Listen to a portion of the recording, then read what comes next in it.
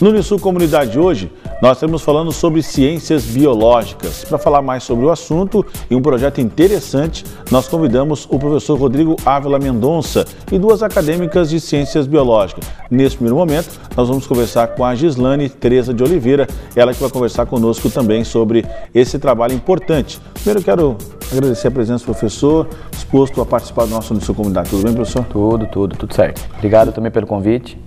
Gislane, da mesma forma. Sim.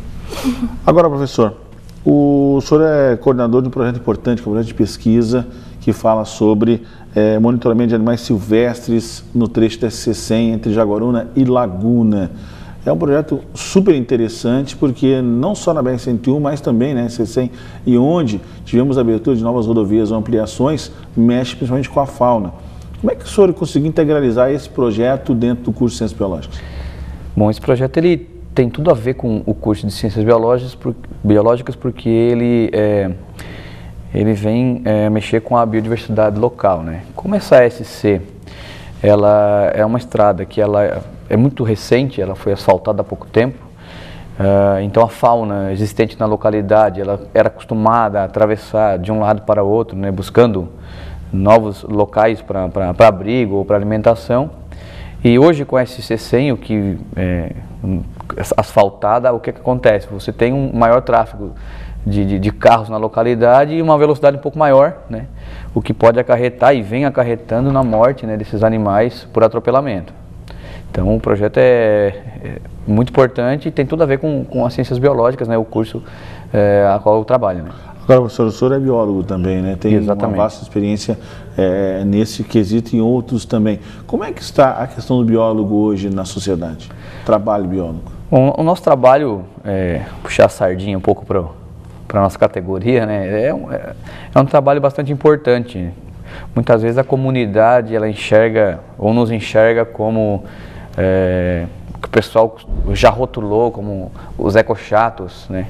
Mas é super importante a nossa função porque é, estudando os animais nós temos a possibilidade de entender principalmente o que está acontecendo com a degradação do meio ambiente. Primeiramente a, a fauna, né? Os animais são os primeiros a receber o impacto. Então, se eles recebem o impacto, muito provavelmente que depois nós, seres humanos, vamos receber também.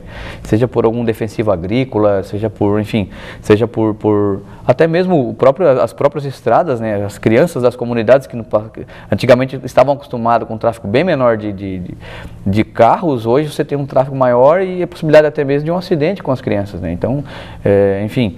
É, o, nosso, o nosso trabalho ele, ele, do biólogo hoje ele, ele, é muito importante, principalmente na, na, na, também na questão de hoje do, do, dos investimentos que o país ele está fazendo no, no, nas, nas, construções de empreendimentos, né? E os nossos, e os, nossos, os nossos profissionais, os nossos futuros profissionais e os que já estão trabalhando, estão envolvidos aí em quase todos os, os setores no Brasil nesses empreendimentos que estão saindo, principalmente em estudos de impacto ambiental, né, que é extremamente importante para saber qual é o impacto é, que determinado empreendimento ele vai ocasionar, tanto na fauna quanto na flora, né, e respectivamente o ser humano.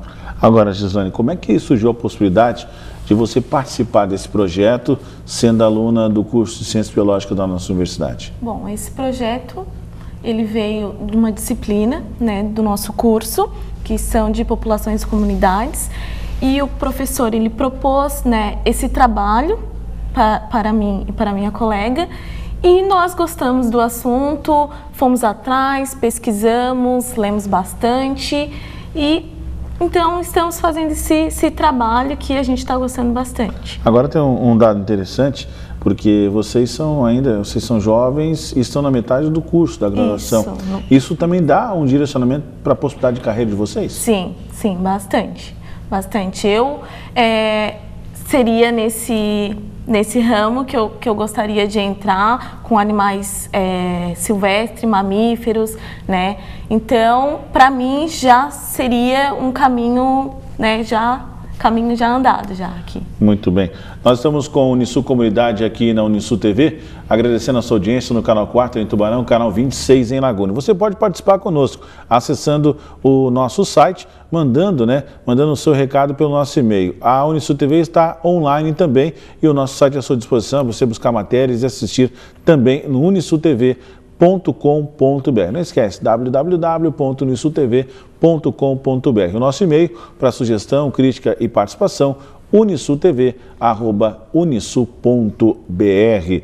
Professor eh, Rodrigo, na questão da biologia dentro do nosso, da nossa universidade. Além das meninas que fazem um trabalho interessante, nós temos muitos outros acadêmicos que também se interessam por outras atividades de extensão, que é coordenado pela professora Maricelma eh, Simiane Jung. Desses nossos acadêmicos, alguns deles já têm também essa percepção de que a biologia hoje é uma função importante dentro das ciências biológicas? Com certeza. A gente passa para eles a todo momento, né? Da importância desse futuro profissional e da importância uh, futura uh, do meio ambiente. Uh, a professora Maricelma tem coordenado o nosso curso de forma é, que ela vem sempre solicitando que nós venhamos a trabalhar com os nossos alunos dessa forma, que nós possamos mostrar para os nossos alunos aonde eles vão se encaixar no mercado de trabalho depois, né? E isso a gente tem feito é, por meio do nosso grupo de pesquisa e nas disciplinas que a gente vem ministrando ao longo do, do, do, do, do curso, né?